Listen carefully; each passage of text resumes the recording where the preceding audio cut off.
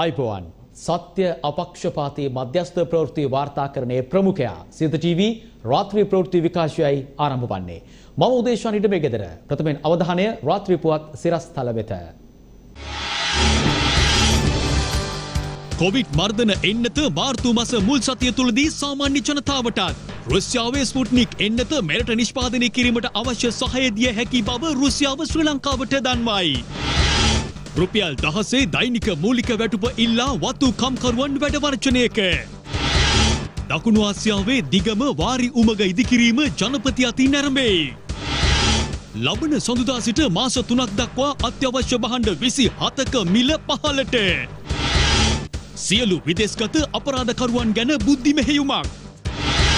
රංජන් රාමනායක මහතාගේ මන්ත්‍රී දුහරේ අහෝසි කිරීම සම්බන්ධයෙන් ලබන දොළොස් වනදාතෙක් ඉදිරි පියවර ගන්න එපා. අභියාචනාධිකරණය පාර්ලිමේන්තු මහලේකම්වරයාට දැනුම් දෙයි. රංජන් වෙනුවෙන් තවදුරටත් පෙනී සිටිනවා. විපක්ෂ නායක සජිත් කියයි.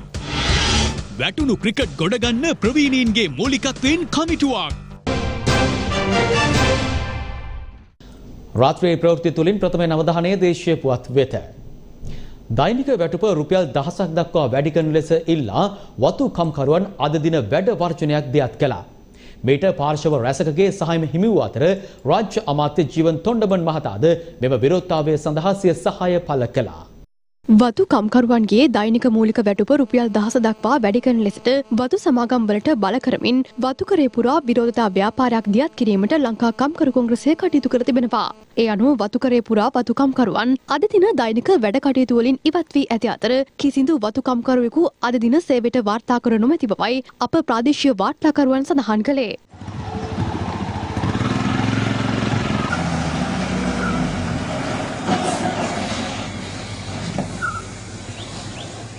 වතු කම්කරුවන්ට රුපියල් දහසක මූලික වැටුපක් ලබා දිය යුතු බවට වතු සමාගම් වලට එරෙහිව දියත් කර ඇති මෙම විරෝධතා ව්‍යාපාරයට සමගාමීව වතුකරේ සිරුම වෙළඳසැල් අද දින වසා දමා ඊට සහයෝගය දැක්වීමටත් හැටන් භගවන්තලාව නොවුට් මස්කෙලිය කොටගල තලබා කැලේ ඇතුළු වතුකරේ නගරවල වෙළඳ සංගම් කටයුතු කර තිබෙනවා.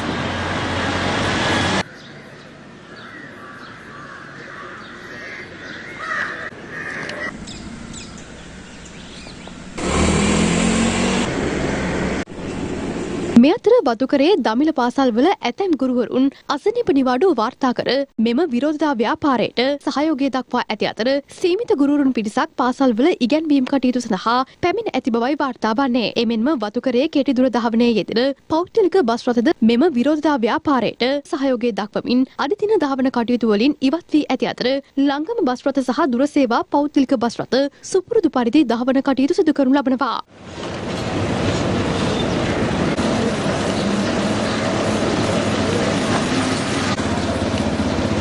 số නොවුට් ප්‍රදේශයේ පෞද්ගලික ඇඟලුම් කර්මාන්ත ශාලාවක සේවකයින් සුපුරුදු පරිදි සේවයට වාර්තා කර තිබූ අතර ලංකා කම්කරු කොංග්‍රසයේ නොවුට් ප්‍රාදේශීය සභාවේ සභාපතිවරයා විසින් එම ඇඟලුම් කර්මාන්ත ශාලාවේ පරිපාලන නිලධාරීන්ගෙන් මෙම විරෝධතා ව්‍යාපාරයට සහයෝගය දක්වන ලෙසට කළ ඉල්ලීමක් මත එම ඇඟලුම් කර්මාන්ත ශාලාවේ වැඩ කටයුතු නතර කිරීමටද එම ඇඟලුම් කර්මාන්ත ශාලාවේ පාලනාධිකාරිය කටයුතු කරන ලැබුවා. මේ අතර විරෝධතා ව්‍යාපාරයට වතුකරයේ සියලු දෙනාම සහයෝගය දක්වන බව රාජ්‍ය අමාත්‍ය ජීවන් තොණ්ඩමන් මහතා පවසනවා. වෙනවා. රාජ්‍ය අමාත්‍යවරයා මේ බව ප්‍රකාශ කළේ වතුකරේ පුරා අද දින ක්‍රියාත්මක කර ඇති විරෝධතා ව්‍යාපාරය පිළිබඳව සොයා බැලීමට යන අතරතුර මාධ්‍යට විශේෂ ප්‍රකාශයක් සිදු කරමින් වතු කම්කරුවන්ගේ දෛනික මූලික වැටුප රුපියල් දහස දක්වා වැඩි කරන ලෙසට ඉල්ලා වතුකරේ පුරා ආරම්භ කරලා තියෙන මෙම විරෝධතා ව්‍යාපාරය ඉතාම සාර්ථකව සිද්ධ වෙනවා. වතු කම්කරුවන්ගේ වැටුප් වැඩි කිරීම සම්බන්ධයෙන් අද දින ආරම්භ කර ඇති මෙම විරෝධතා ව්‍යාපාරයෙන් වතු සමාගම් යම් තිගැස්මකට ලක් වෙලා තියෙනවා. වතු සමාගම් සහ වතු වෘත්තීය සමිතිය අතර ලබන අටවන දින පැවැත්වෙන සාකච්ඡාවේදී වතුකම්කරුවන්ගේ දෛනික මූලික වැටුප රුපියල් දහස දක්වා ලබා දීමට වතු සංගම් එකඟතාවය දක්වන බවට මා තුළ නම් විශ්වාසයක් තිබෙනවා. කොහොමුණත් වතු කම්කරුවන්ගේ මේ ඉල්ලීම දිනාගන්නා තුරු අපි මේ අරගලේ නිරත වෙලා ඉන්නවා. වාරි සෞභාග්‍ය උතුරුමැද පළාත් මහා ඇල ව්‍යාපෘතියේ කටයුතු අද ජනාධිපති ගෝඨාභය රාජපක්ෂ මහතාගේ ප්‍රධානත්වයෙන් ආරම්භ වුණා.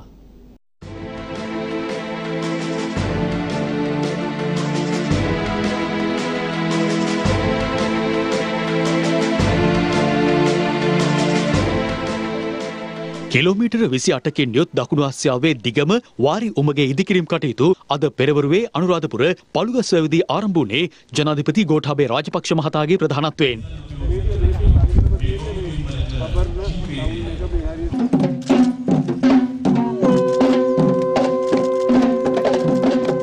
ත්‍රයිනිකායික මහා සංඝරත්නය අමාත්‍ය චමල් රාජපක්ෂ මහතා ඇතුළු අමාත්‍යවරුන් රාජ්‍ය අමාත්‍යවරුන් අමාත්‍යංශ ලේකම්වරුන් ඇතුළු රාජ්‍ය නිලධාරීන් රැසක්ද මෙම අවස්ථාවට එක්ව සිටියා.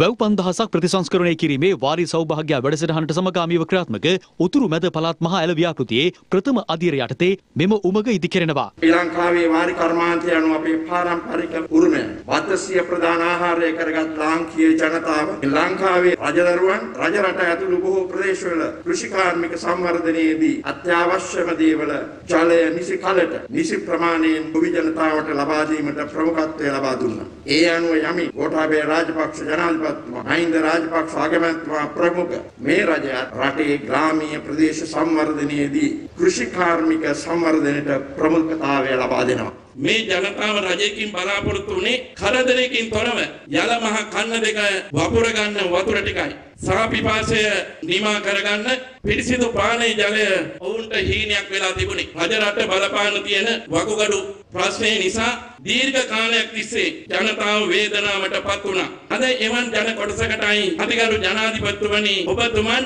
තනසුම් සුසුමක් දෙන්න මුණ පිළුයි. උතුරුමෙද ජනතාවට ජලය කියන්නේ සම්පතක් විතරක් නෙවෙයි ජීවිතය කියලයි මම කියන්නේ. සමහර අය කියනවා මේ ගෝඨාභය රාජපක්ෂ ජනාධිපතිතුමා පේල්. එතුමා පේල් වෙච්ච පුද්ගලයෙක් නේ පැහැදිලිවම කියන්න ඕන. මේ රජරට ආවට පස්සේ ඔබතුමාට LTD රසවාදී තියෙන වෙලාවේ AR ජයවර්ධනතුමාට කරන්න බැරුණා. හේමදාස මහත්තයාට කරන්න බැරුණා. විජේතුංග ජනාධිපතිතුමාට කරන්න බැරුණා. චන්ද්‍රිකා බණ්ඩාරනායක මැතිණියට කරන්න බැරුණා. නමුත් මහින්ද රාජපක්ෂ ජනාධිපතිතුමාගේ නායකත්වය යටතේ ඔබතුමා තමයි ඔක්කොම පේල් වුණා. ඔබතුමා විතරයි පේල් වෙච්ච නැති නායකයා කියන එක මම කියන්න කැමතියි. COVID-19 වර්ධනය සඳහා වූ ඔක්ස්ෆර්ඩ් ඇස්ට්‍රාසෙනිකා එන්නත සාමාන්‍ය ජනතාව වෙනුවෙන් එළමෙන මාර්තු මස මුල් සතිය සිට එන්නත්කරණය ආරම්භ කරන බව රාජ්‍ය අමාත්‍ය ස්වදර්ශනී ප්‍රනාන්දු පුල්ලේ මහත්මිය පවසනවා. මේ අතර රුසියාව විසින් නිෂ්පාදිත ස්පුට්නික් එන්නත මෙරටදී නිෂ්පාදනය කිරීමට අවශ්‍ය සහාය ලබා දිය හැකි බව රුසියාව ශ්‍රී ලංකාවට දන්වා තිබෙනවා. කොවිඩ් මර්ධනය සඳහා වූ ඔක්ස්ෆර්ඩ් ඇස්ට්‍රාසිනිකා කොවිශීල්ඩ් එන්නත මේ වන විට එක් ලක්ෂ පනස් දහසක පමණ පිරිසකට එන්නත් කර ඇති අතර එළමෙන මාර්තු මස පළමු සතියේ සිට සාමාන්‍ය ජනතාවටද එන්නත් කිරීමට කටයුතු සැලසුම් කර තිබෙනවා. ලෝක සෞඛ්‍ය සංවිධානයේ කෝවැක්ස් පහසුකම යටතේ 100ට 20ක් ඒ කියන්නේ ලක්ෂ 42ක ජනතාවට ඔක්ස්ෆර්ඩ් ඇස්ට්‍රාසෙනික එන්නත ලබා දෙනවා කියන පණිවිඩය අපිට ලැබිලා තිනවා. ඒකේ පළවෙනි වටය බොහෝ විට පෙබරවාරි මැද මාර්තු වෙනකොට ලැබෙනවා. ඒ ලැබිච්ච වහාම අපි බලා බලාපොරොත්තු වෙන මාර්තු පළවෙනි සතියේ ඉඳලා මේ සාමාන්‍ය ජනතාවත් එන්නත් කරණය කරන්න. කෝවැක්ස් පහසුකම යටතේ ලැබෙන එන්නත් අපි විශේෂයෙන්ම අවුරුදු 60ට වැඩි ජනගහනය වෙනුවෙන් එන්නත් කරන්න කටයුතු කරනවා. අපි මිලදී ගන්න තියෙනවා අපිට මාත්‍රා ලක්ෂ 180ක් රුපියල් බිලියන 10ක් වගේ මුදලක් අපිට වැය වෙන්නේ. මේ වෙනකොට සැලසුම් කරලා තිනවා ලංකාව පුරාම මධ්‍යස්ථාන 4000ක් ස්ථාපිත කරලා එන්නත ලබා දෙන්න. දවසකට මධ්‍යස්ථාන 2000ක එන්නත් ලබා දීමේ කටයුතු. එක මධ්‍යස්ථානයකින් 300කට එන්නත් එන්නත් ලබා දීම සඳහා තමයි සැලසුම් කරලා තියෙන්නේ. ඒ වෙනකොට දෛනිකව අපිට ලක්ෂ 6ක ජනතාවට මේ එන්නත ලබා දීමට හැකියාව තියෙන බව අපි සතුටින් සඳහන් කරන්න ඕනේ. දැනට තියෙන තොරතුරු අනුව මේ නව ප්‍රභේදයටත් මේ එන්නත හරහා ආරක්ෂාව ලැබෙනවා කියන තොරතුරු තමයි අපිට තියෙන්නේ. එසේම කොවිඩ් මර්ධනය සඳහා වූ රුසියාවේ ස්පුටිනික් එන්නතද ශ්‍රී ලංකාවට ලබා ගැනීම සම්බන්ධයෙන් රාජ්‍යතාන්ත්‍රික මට්ටමින් කටයුතු සිදු කරන බවයි විශේෂඥ වෛද්‍ය අමල් හර්ෂ මහතා සඳහන් කළේ. ස්පුට්නික් කියන එන්නත ගැනත් අපි යම්කිසි අධ්‍යයනයක් කරමින් සිටින මේ වෙලාවේ ලංකා ලියාපදිංචි කරන අපේ ජාතික ඖෂධ සංස්ථාවේ සභාපති විශේෂඥ වෛද්‍ය ප්‍රසන්න ගුණසේන මැතිතුමා ඒ ස්පුට්නික් එන්නත ලබා ගන්නත් යම්කිසි වැඩපිළිවෙලක් දැනටත් ක්‍රියාත්මක කරගෙන යනවා. එතන තව සුවිශේෂ දෙයක් තියෙනවා. ඒ ස්පුට්නික් එන්නත අපේ තානාපතිතුමා මාර්ගයෙන් අපේ අතිගරු ජනාධිපතිතුමා ඉල්ලීමක් කරලා තිනවා ඒ රටවල වලින් ජාත්‍යන්තර විදිහට සහයෝගයක් ඉල්ලලා තිනවා මේ එන්නත් සම්බන්ධයෙන්. ඉතින් ඒගොල්ලෝ අපිට ඉදිරිපත් කරලා තියෙන යෝජනාව තමයි ලංකාවෙම මේ එන්නත හදන්න ඒගොල්ලෝ අපට උදව්වක් වෙන්නම් කියලා. ඉතින් අපේ ලංකාවේ ඇත්තෙන්ම Fatima හොඳ කර්මාශාලා දෙකක් තියෙනවා ඒක අධ්‍යයනය කරගෙන යනවා. ඒකේ පුළුවන් වුණොත් අපිට ඒ ස්පුට්නික් කියන එන්නත ලංකාවට ගෙනලා ලංකාවේ ඒ එන්නත් වයල්ස් වල පුරවලා ඒ වගේ දෙයක් අපිට හදන්න පුළුවන්. එහෙම වුණොත් අපි අපි එන්නත් ආනයන කරන රටක් විදිහට ඉන්න අපි එන්නත් අපනයන කරන රටක් බවට පත් කරගන්න පුළුවන්. මහියංගනයේ නගරය ආසන්නයේ පිහිටි ඇඟලුම් කර්මාන්ත ශාලාවක සේවය නියුතු පුද්ගලින් අනු අට දෙනෙකු COVID-19 වෛරස් ආසාදින් බවට තහවුරු වී තිබෙනවා. ඒ අනුව අදාළ ඇඟලුම් කර්මාන්ත ශාලාව තාවකාලිකව වසා දැමීමටයි සෞඛ්‍ය අංශ අද කටයුතු කළේ. ද්‍රවිඩ ජාතික සන්ධානය ඇතුළු කණ්ඩායම් කිහිපයක මූලිකත්වයෙන් නැගෙනහිර පළාතේ සිට උතුර දක්වා ක්‍රියාත්මක විරෝධතා පෙළපාලිය අද ත්‍රිකුණාමල නගරය පසු කළා. එල්ලීම් රසක් මුල් කරගනිමින් ද්‍රවිඩ ජාතික සන්ධානය ඇතුළු දේශපාලන ක්‍රියාකාරීන් මෙන්ම සිවිල් සංවිධාන සහ ආගමික කණ්ඩෑම් සමාජ ක්‍රියාකාරීන් එක්ව පවත්වනු ලබන විරෝධතා පෙළපාලිය අද ත්‍රිකුණාමලය පසු කරමින් පැමිණියා. අම්පාර පොතුවිල් සිට උතුරු පළාත දක්වා ඔවුන් මෙම විරෝධතා පෙළපාලිය ක්‍රියාත්මක කර තිබෙනවා. ද්‍රවිඩ සඳහන පාර්ලිමේන්තු මන්ත්‍රීවරුන් මෙම විරෝධතාවයට මූලිකත්වය ගෙන ඇති අතර පසුගියදා මෙම විරෝධතාකරුවන් සහ ආරක්ෂකංශ අතර උණුසුම් තත්ත්වයක්ද හටගත්තා.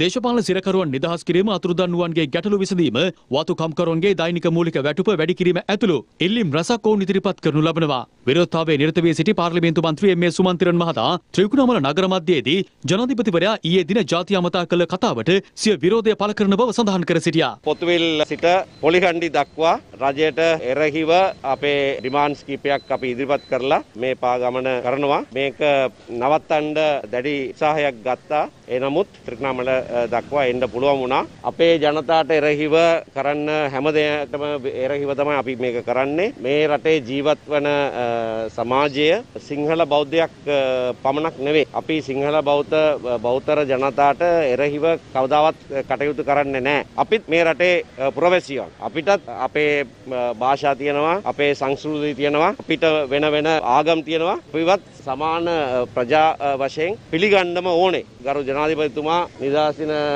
කතාවේදී සිංහල බෞද්ධයක් කියලා කියා සිටිනවා. ඒක අපිට ප්‍රශ්නයක් නෙමෙයි. එනමුත් රටේ ජනාධිපති මම සිංහල බෞද්ධයක් කියලා සිංහල බෞද්ධයන්ට පමණයි මම සලකනවා කියලා කියන්න බෑ. ඒක අපි පිළිගන්නේ නැහැ. කවදාවත් පිළිගන්නේ නැහැ. අපිටත් අයිති මේ රට.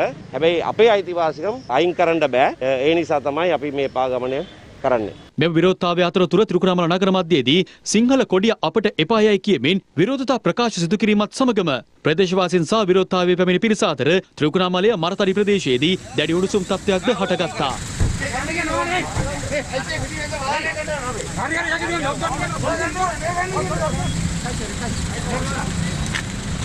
අර සුමන්ත්‍රී මහත්තයා හරි හරි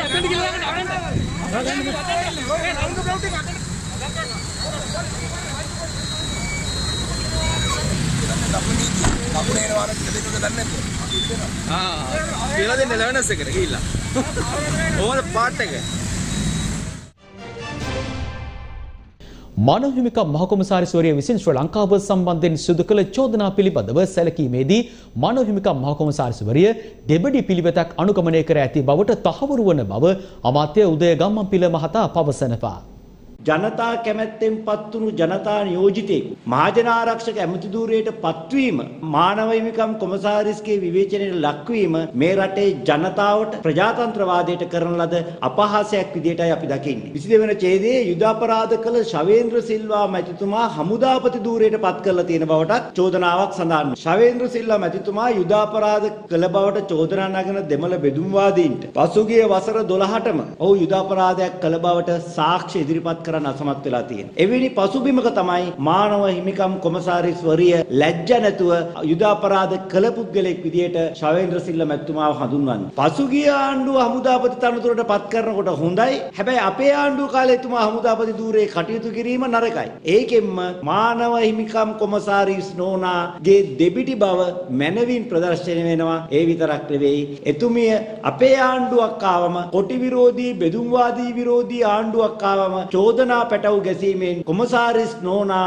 බෙදුම්වාදීන්ගේ කොටි සංවිධානයේ බලල් අතක් බවට මනාව තහවුරු වෙන බවයි අපි විශ්වාස කරන්නේ. මේ 28 වන ඡේදයේ හරි අපූර්ව කතාවක් කියනවා. පල්ලිගනීවියයි බියෙන් අපරාධ පරීක්ෂණ දෙපාර්තමේන්තුවේ හිටපු පොලිස් පරීක්ෂක නිශාන්ත සිල්වා ශ්‍රී ලංකාවෙන් පැන ගියා කියලා එතුමියගේ වාර්තාවේ සඳහන් වෙනවා. ඇත්තෙන්ම නිශාන්ත සිල්වා මේ වෙනතුරත් අතුරුදාන්. ඔහු පැන ගියේ ඇයි කියන එක ඔහු මේ වෙනකම් ප්‍රසිද්ධ කරලා නැහැ. හැබැයි අතුරුදාන් වුණු පුද්ගලයෙක් මෙතෙක් හෙළි නොකර රහසක් මානව හිමිකම් කොමසාරිස් නෝනා දන්නවා. ඒ කියන්නේ මානව හිමිකම් කොමසාරිස් නෝනා නිශාන්තද සිල්වාගේ අතුරුදාන් වීමේ පිටුපස සිටින අදීසි හස්තයේදයි කියන සාධාරණ සැකය අපිට මතුවෙන බව අපට එතුමියට කියන්න සිද්ධ වෙනවා. මේ වාර්තාව අතිශයින්ම පක්ෂග්‍රාහී Tamanට පැවරුණු වරමට පිටින් සකස් කළ වාර්තාවක් ආණ්ඩුව සම්පූර්ණයෙන්ම ප්‍රතික්ෂේප කරන්න ගත්ත තීන්දුවට අපි හිස නමා ප්‍රණාමය පුද කරන්න මේක අවස්ථාවක් කරගන්නවා.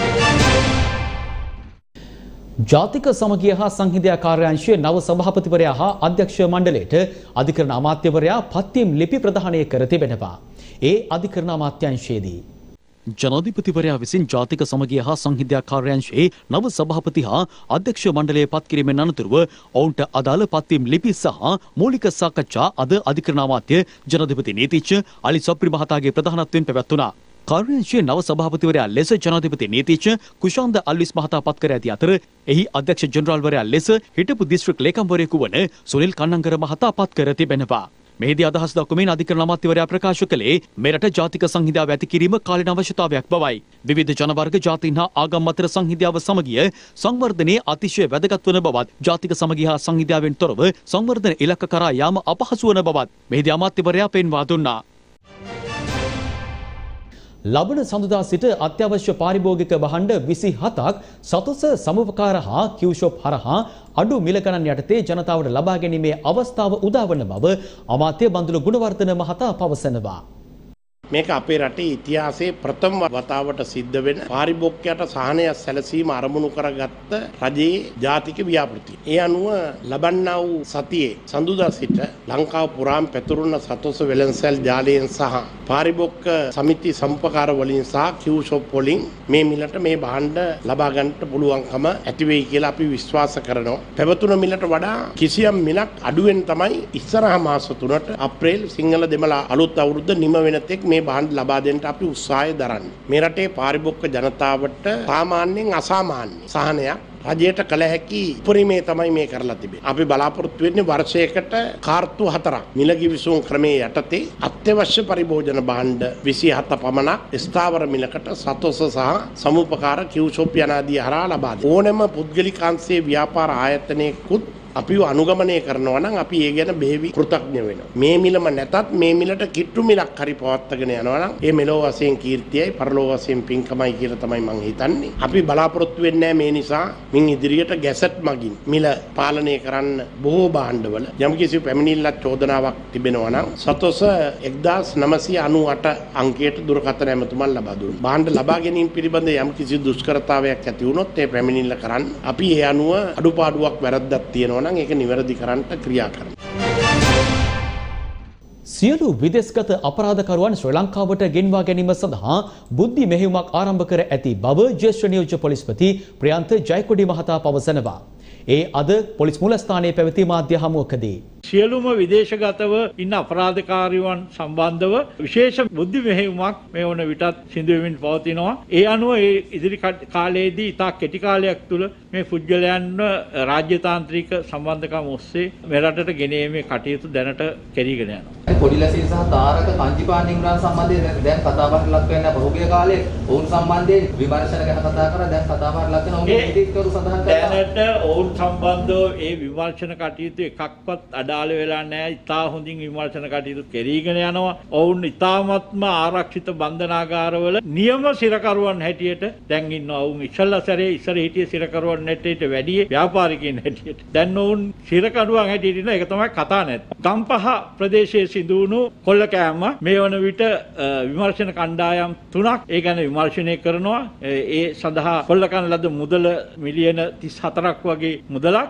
ඒ අනුව විමර්ශන කටයුතු කරගෙන යනවා. මෙතෙක් අපිට සාර්ථක අවසානයක් කරා ලං වෙන්න බැරි වෙලා තියෙනවා පැති කීපයක් ඔස්සේ විමර්ශන කටයුතු පවත්වාගෙන යනවා. ගම්පහ අපරාධය සම්බන්ධව මේ අවස්ථාවේදී අපි මුල්‍ය ආයතනය කොල්ල කෑමට සම්බන්ධ සැකකරුවන් ගැන සාර්ථක තොරතුරක් ලබා දෙන්න ලෙස අපි මහජනතාවගේ ඉතා ඕනෑකමින් ඉල්ලා සිටිනවා. ඒ සම්බන්ධව යම්කිසි තොරතුරක් ලබා දෙන ඕනෑම පුද්ගලයෙකුට රුපියල් මිලියනයක ත්‍යාග මුදලක් පොලිස් පොලිතුමා ලබා දෙන බවට ප්‍රකාශ කරලා තියෙනවා.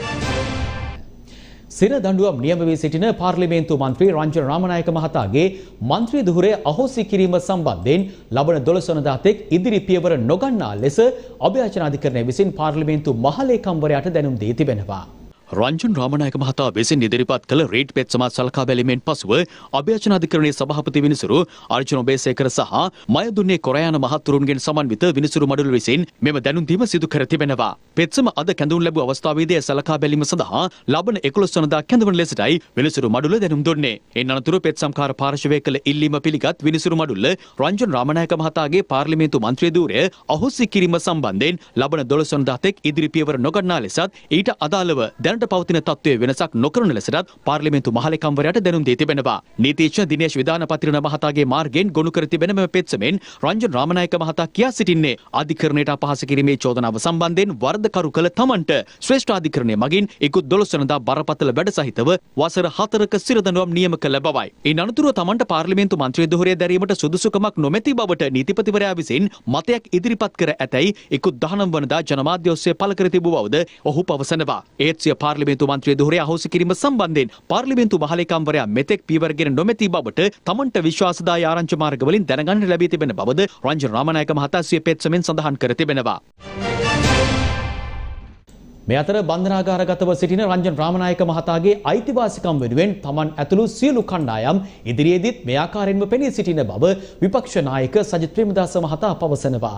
රංජන් රාමනායක වෙන් පෙනී සිටිනව පමණක් නොවේ තුමාගේ අයිතිවාසිකම් ආරක්ෂා කිරීම දෙසා ප්‍රජාතන්ත්‍රවාදී නිත්‍යානුකූල ව්‍යවස්ථානුකූල සටනක අරගලයක අපි නියැලෙනවා කියන එක කියන්නට කැමතියි. එතුමාගේ අයිතිවාසිකම් ආරක්ෂා කරන්නට අපි කටයුතු කරනවා. එදා ඔහුට නාම යෝජනා ලබා නොදෙන්නට එවකට කණ්ඩායම් තීන්දුව කරපු අවස්ථාවේදී එතුමා වෙනුවෙන් පෙනී හිටිය පමණක් නෙවෙයි සමගි ජන බලවේගයෙන් එතුමාට නාම යෝජනා ලබා දෙන්නටත් අපි කටයුතු කරා. රංජන් රාමනායක මානව හිතවාදියාගේ අයිතිවාසිකම උදෙසා අපට නීති රාමුව තුල නිත්‍යානුකූලව ව්‍යවස්ථානුකූලව කළ හැකි උපරිම සටන සාමකාමීව දියත් කරන්නට සමගි ජන බලවේගයේ සෑම සියලු දෙන සමග අත්අඩංගුගෙන අපි කටයුතු කරනවා කියන එක අවධාරණය කරන්නට කැමතියි. දැන් අවධානය ක්‍රීඩා පුවතක් වෙත. ශ්‍රී ලංකා ක්‍රිකට් ක්‍රීඩාවේ දියුණුව සඳහා තරුණ හා ක්‍රීඩා අමාත්‍යාංශය තාක්ෂණික උපදේශක කමිටුවක් පත් කර තිබෙනවා. ශ්‍රී ලංකා ක්‍රිකට් ක්‍රීඩාවේ දියුණුව සඳහා තරුණ හා ක්‍රීඩා අමාත්‍යංශයට තාක්ෂණික උපදේශක කමිටුවක් පත් කර තිබෙනවා.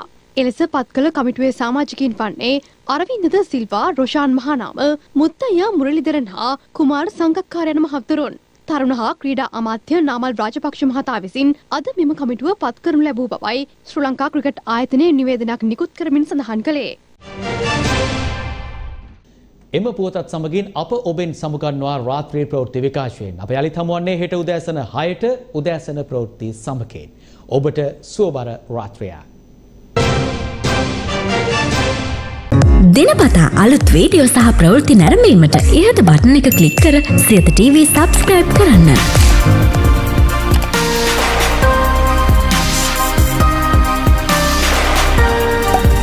අලුත් වීඩියෝ ගැන මුලින්ම දැනගන්න මෙම සීනුව ක්ලික් කරන්න.